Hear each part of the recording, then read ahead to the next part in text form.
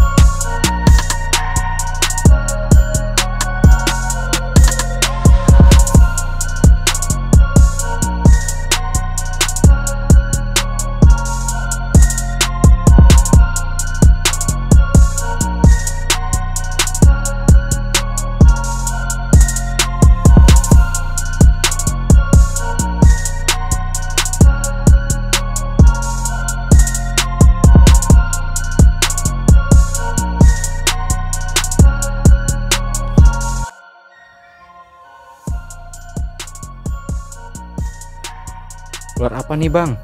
Warnanya emas. Ini adalah ular gonyosoma.